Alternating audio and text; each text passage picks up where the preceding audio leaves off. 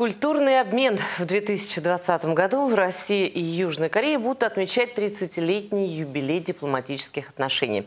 Готовятся различные торжественные и праздничные мероприятия. Роман Паршинцев решил сравнить, как в странах отмечают Новый год. Это, я так понимаю, корейская морковь. 가리스키 마르코피아 여기 반찬은 없어. В Корее такого блюда на самом деле нет. Морковь по-корейски – блюдо русской кухни. О нем шеф-повар ресторана Ким Ван Джунг узнал 8 лет назад, когда приехал работать в Москву. Говорит, обычно на новогоднем столе у корейцев яблоку негде упасть. То есть стараются, чтобы было как можно больше угощений, главное из которых – кимчи – салат из пекинской капусты с пряностями. И, наверное, во всем мире все знают, что она, помимо того, что очень вкусная, еще очень полезна для здоровья.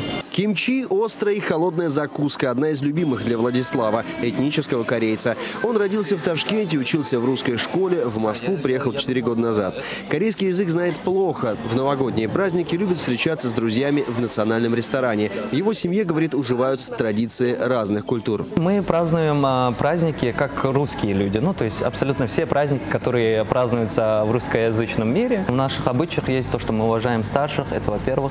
А, то, что когда они пьют, мы, мы наливаем. Вообще, в современной республике Корея отмечают два новых года. Обычный 1 января и по лунному календарю, так называемый Соллаль. В этом году он будет 25 января. Вот когда корейцы празднуют с размахом. Если с 31 на 1 для них просто еще один выходной, то на Соллаль собираются все члены семьи. Это святое. Независимо от того, внуки, дети, собираемся утром и идут на поклон. Даже, как говорят, ушедшие на небесах тоже приходят посмотреть, как они отмечают Новый год.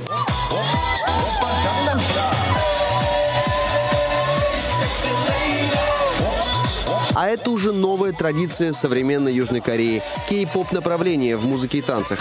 Молодежная субкультура, которая взорвала интернет 8 лет назад. Гангам стайл, то есть роскошный стиль, покорил половину населения планеты. Более трех миллиардов просмотров. Кей-поп сегодня танцует и в России. Процесс культурного обмена идет в обратном направлении. К примеру, популярная корейская рок-группа Юн Хён Бенд поет песни самого культового русского корейца Виктора Цоя.